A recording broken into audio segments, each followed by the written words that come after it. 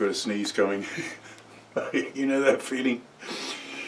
Hey, um, still not a lot of shop time and I've just done a what I call a very insignificant, probably not really very interesting project, but I decided to video it just for the hell of it.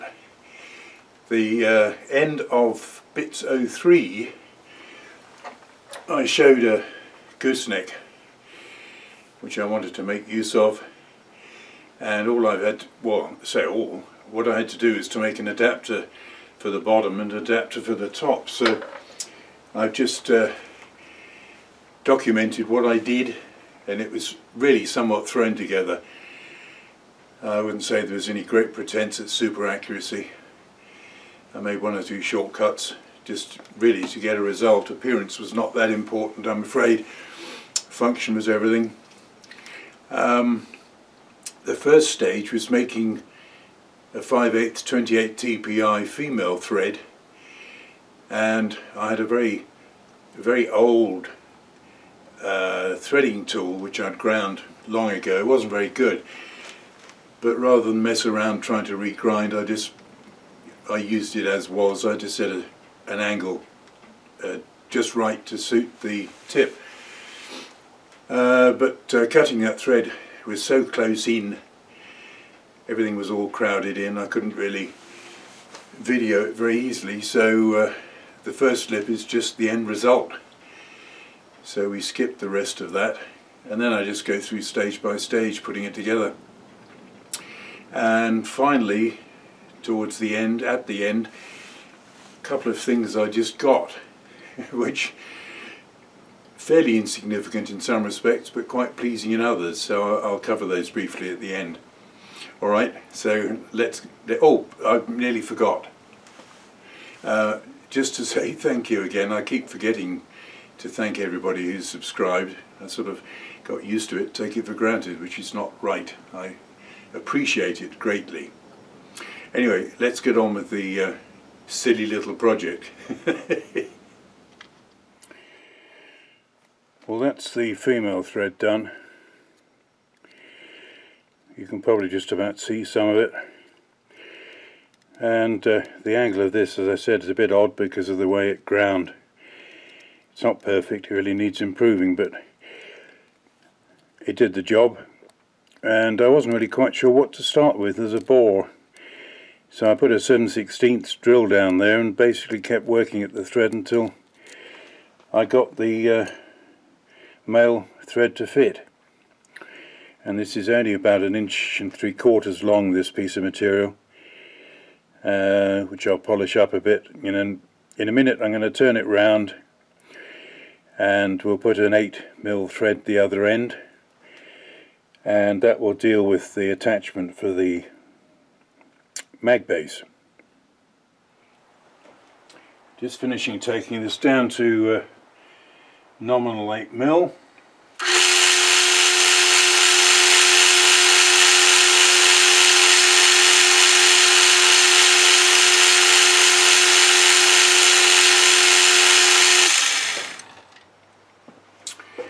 Should equate to uh, 315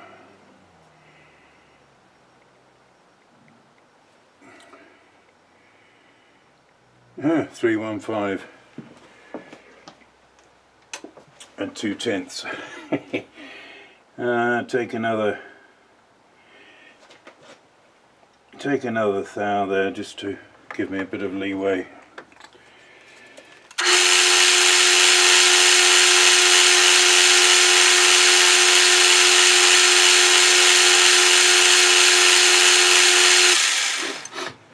Right, that should suffice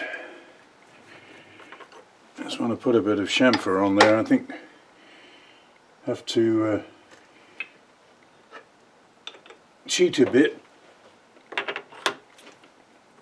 and make this tool do the job.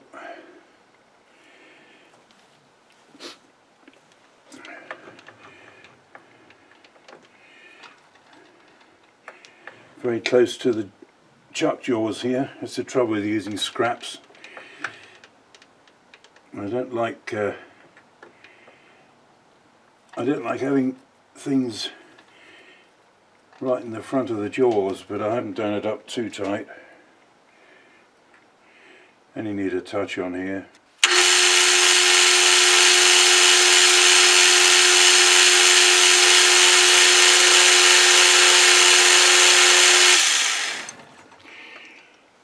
Don't actually need a whole lot of length on this so I should probably probably use a lock nut. Um, I might just be able to increase that chamfer but I may not bother. This is functional. Just finishing a little bit of thread relief.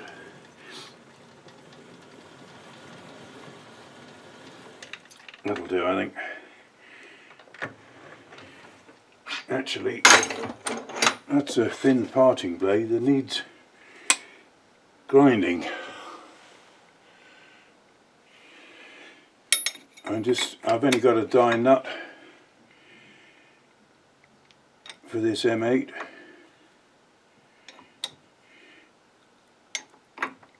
I'm just getting a start. I can't go too ambitious on it because I haven't got a very good hold in the chuck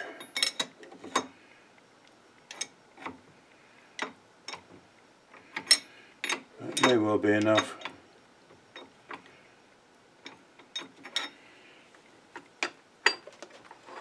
Let's see.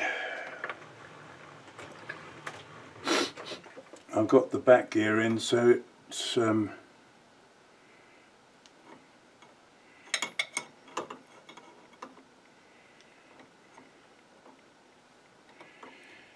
may finish that out of the chuck I think actually. I got a thread on that now. I finished it out of the chuck because it was wanting to slip a little bit.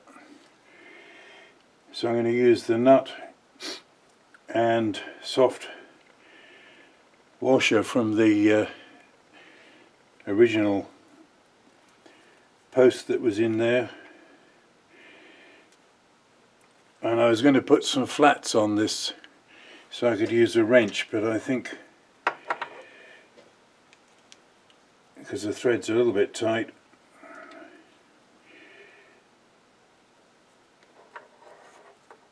and finish it off this way.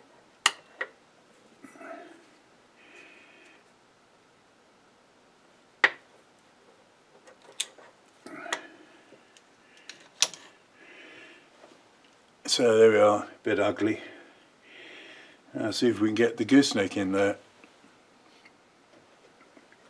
I'm not sure whether I cut the thread quite deep enough in there but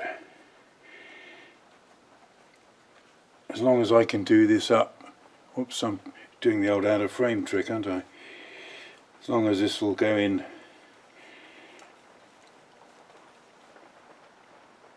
it looks as though I might be able to ease that a bit further with a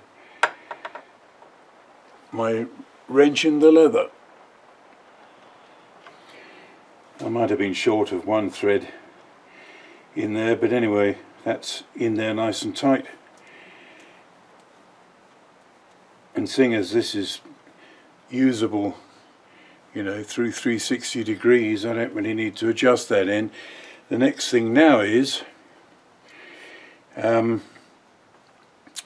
make a male piece to go in there get that threaded and then on the top probably leave what would basically be a threaded boss um, so I can use that to fit different things, whether we're talking about a lamp indicator or probably I might put a ball ball joint on there so it'll give me another camera option. So we'll see. Suck it and see. Now I'll do something for the top top of this gooseneck. There's actually plenty of female thread in there probably about 5 eighths so we'll probably give it about a half inch and starting off here this is a piece of three quarter So we've got to face that, turn it down to uh, just under 5 eighths. The old thread is actually comes out at uh, about 615. So we'll probably head for that. It doesn't have to be a particularly particularly tight fit. We'll just face this off.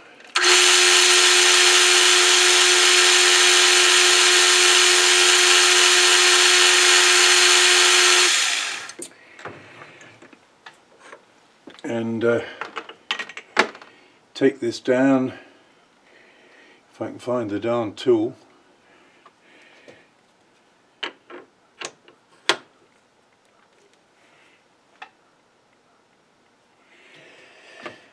and set the stop somewhere around there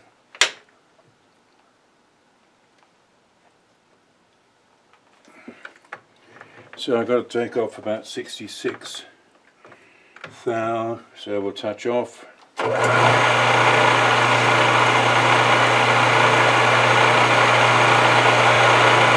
Take a 10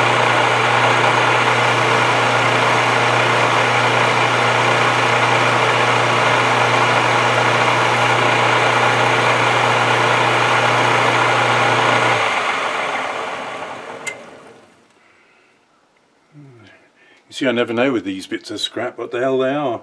it seems to be half reasonable. So get that down to size. One more pass should do, I think.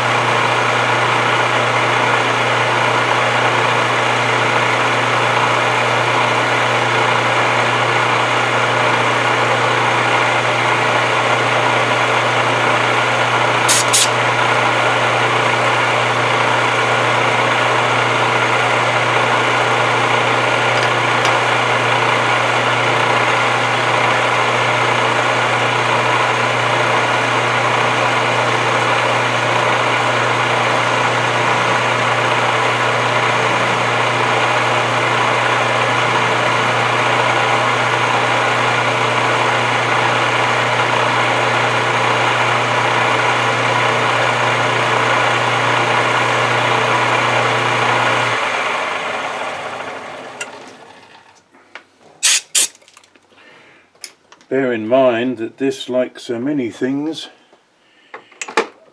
is not made to be pretty. It's functional. So we'll set up for some threading. I'll put in a thread end relief. As usual, spindle handle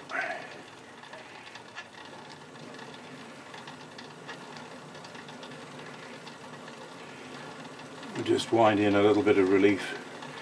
This is not a terribly deep thread so uh, you need really go in very far. Make it slightly generous.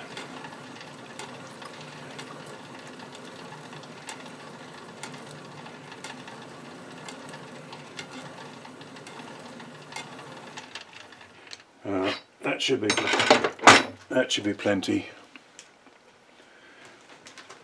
just doing a scratch driven a hand driven scratch test.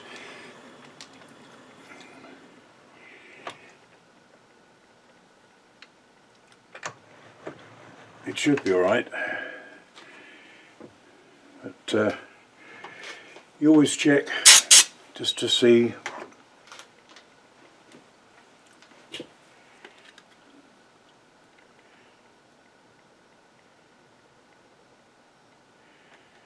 Uh, 28. Alright, I'll go for that.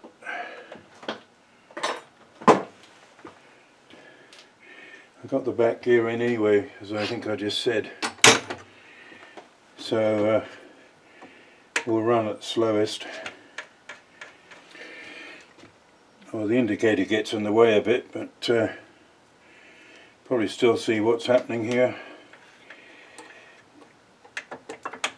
make sure the back gear is engaged. I'll go for it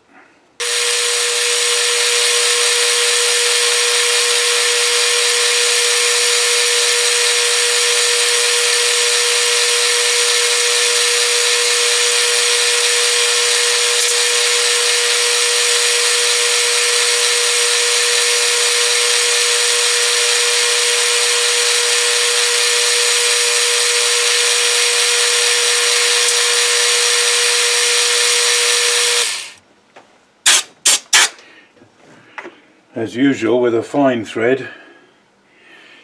The uh, numbers take a long time to come round. I'll carry on and get closer to the end. I didn't take many passes. I think we should be good to go. Slightly awkward. I have to use the uh, handle in the spindle again.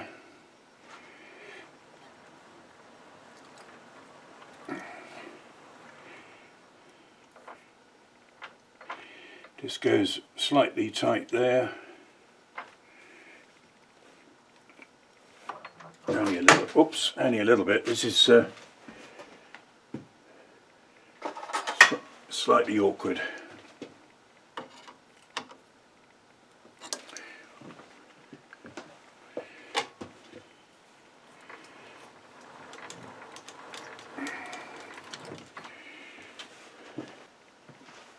Probably just take one more pass to clean it up again. Well optimistically I thought I could use the deeper thread in that top of the gooseneck but although this goes in very freely quite a long way it doesn't go all the way and I think the thread in there is not very good so what I'm going to do is to take this down that's a double male fitting that used to be in it. Goes in easily. So I think we'll come down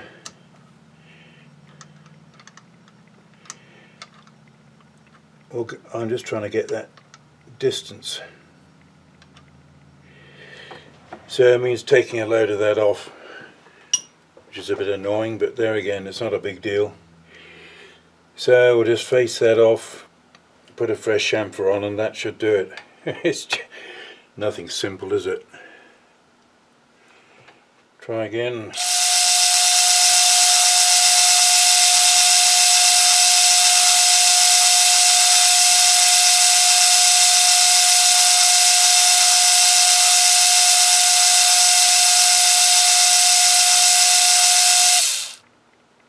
Seems wasteful, doesn't it, after all that threading? Never mind. I'll put a chamfer on that and see how uh,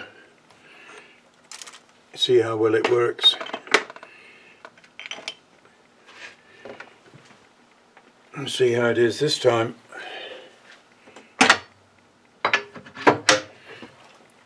Let's put the handle in again. Might be zoomed in a bit much.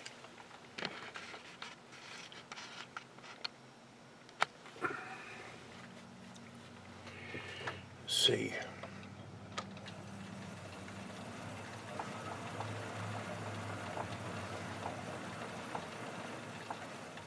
Yes, there we go.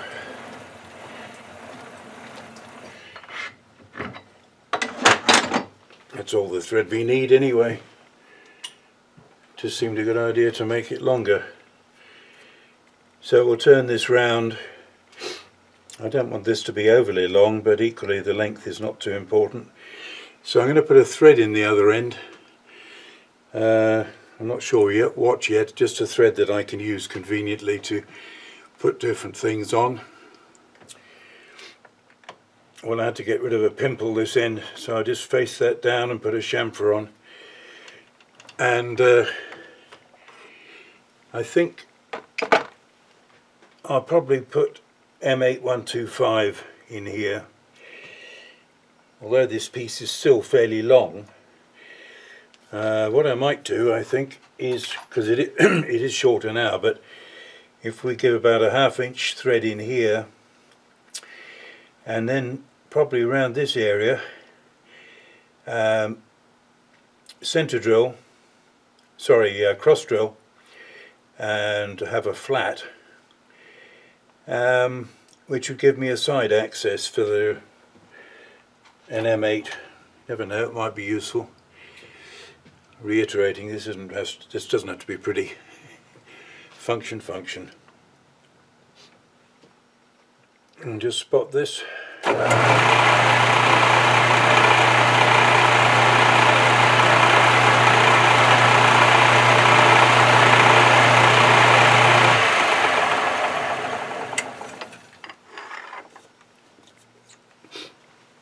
and uh,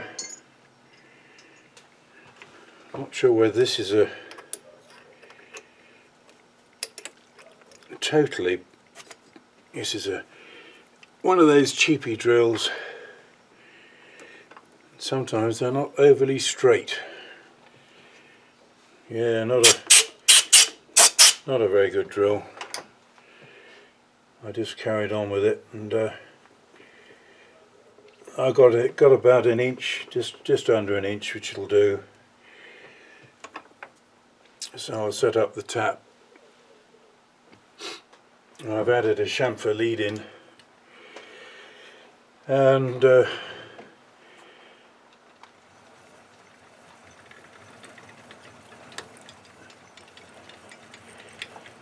won't probably thread the whole depth as long as I can go about three quarters, something like that.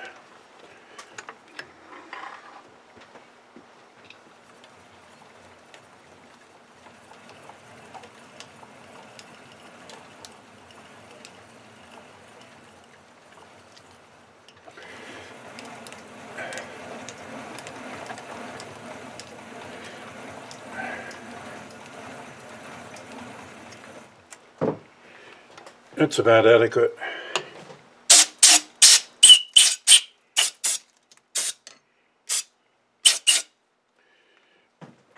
Just get a bolt and check that for fit. Yeah, it's a pretty pretty clean thread. A little bit sloppy there, but I say that drill wasn't very good. When I looked at it, the chisel point was rather bad so it did drill slightly oversized. Not a problem.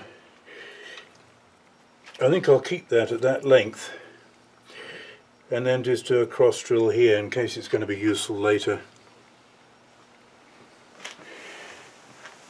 Oh it's only um, having this piece being worked on I thought I'd do this cross drill. And uh, it may be useful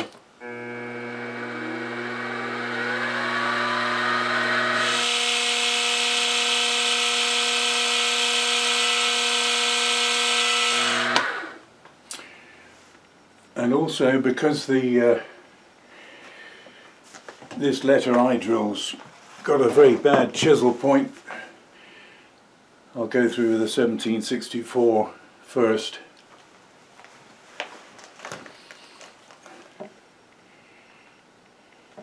that's better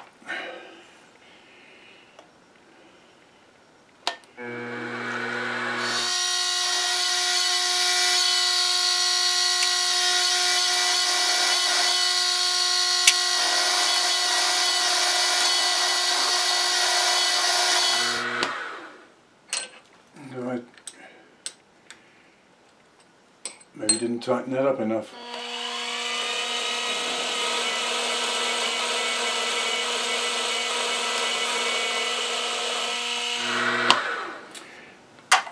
Yeah, that was actually uh, just catching the bottom of the other hole. And I just realised it was catching. I'll pop the letter I in just to clear through. I don't really need to put a flat on here to be honest but um, I may do that finally just as a just as a means of um, having a flat there in case I need it.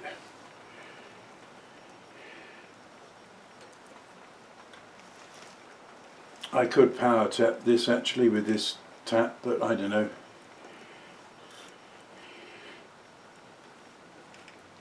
I prefer to feel it I know lots of folks do do a power tap but uh,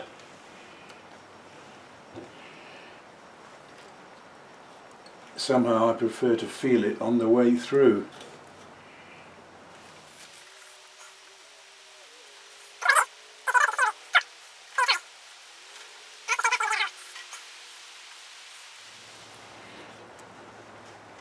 Thought I might as well tap through and through. You never know, might be useful. Let's take that out and then I'll just mill a flat. In fact I'll do a flat both sides. I can't quite fit in a half inch cutter so I'm just using a 716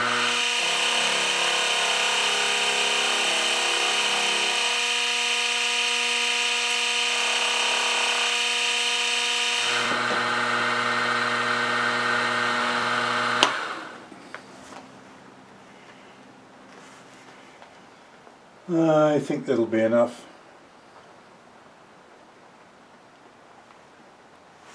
I'll flip it over and uh, do the other side. It's probably not absolutely centered here, but anyway, this is a bit of rough and ready.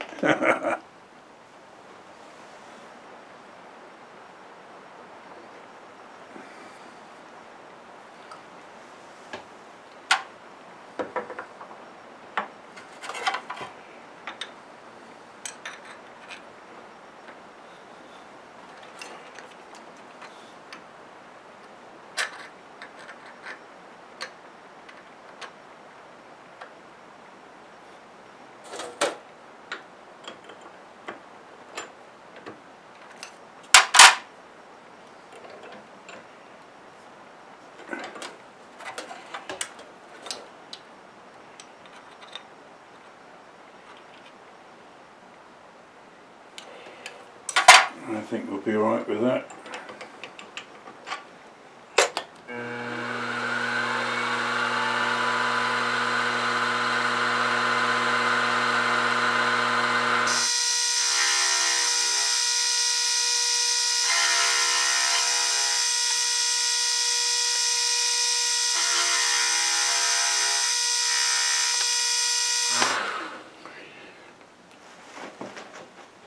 Oh, I think that's enough. Quite on centre. Say, rough and ready. Well, pretty unexciting mini project. Um, that's worked out all right. looks a bit funny, but the thread depth on these blocks is only just over a quarter inch, and they use the nut and washer, so I've used the same approach. Uh, so that's done up pretty reasonably. That's gone into the adapter all right. So that lot really is just nice, nice and firm. And this end, so we got this piece, this piece we just finished making. Uh, things are not absolutely perfect. That uh, 28 TPI thread, that's worked out okay. Um, this cross hole, which may or may not even be used, isn't too bad. I didn't set up for the mill very accurately to get the flats. I think the flats are incidental really, they don't really matter. So I wasn't really taking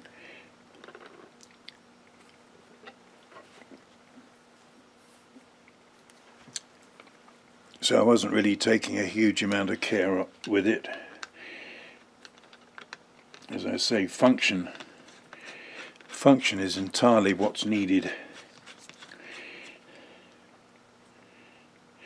Now it looks a bit ungainly, But what I'm hoping is that uh, having that M8 thread available that I can put on anything else with an M8 so I may fit up try a lamp on it. Um, make a camera mount. I've got a spare ball um, swivel coming. I'm not sure how it's going what it's going to fit to or at least how it's going to fit. Uh, we'll see what happens when I get it. And then I can probably also fix up something on here for uh, DTI if it's any use I mean the whole thing's pretty long but it may just be it may just be now and again that uh, it'll have a reach that'll be useful I might even put find a way of fitting the mini Noga on the end here anyway it's really just a case of using the gooseneck for something instead of it lying around doing nothing. So there it is. Most unexciting, just another little something. Um, I may get round to something a bit more substantial if it doesn't get too cold. See how it works out. Alright, that's it for now. Well, here was one score which I was rather pleased with. Um, I'd released one of these for the uh, gooseneck job but I thought I'll get another replace that so I've still got a spare these three not one these three were there for 20 bucks free shipping. So they came today in a small flat rate box. I thought that was pretty amazing. So I'm rather delighted. I got the one back that I had used for the gooseneck and I got two more for which I shall find uses, one of which is probably going to be used on the welding table. The other thing I got through the other day was a bunch of uh, slitting saws. They're used. Um, there's a guy, I can't remember his initials, he puts them up every week just about. I guess they're bought off uh, companies that have used them up to a certain point. So I took a gamble. I'd got one or two other twos and threes, but over time. But this was 20. Uh, I think the bidding went up to. It's getting on for 50 bucks, I think. So you you take a bit of a chance doing that. But I was really quite pleased. Uh, these are all 5 eighths bore, and there's some very nice thin ones which are good for some operations. Uh, I've just noticed another one here that's a bit dull. But I went through and most of them are either good or usable. Quite a, quite a good selection. You obviously take a chance getting second-hand used stuff, but uh, not bad at all. Anyway, I thought the uh, I thought these were brilliant. Alright guys, thanks for watching.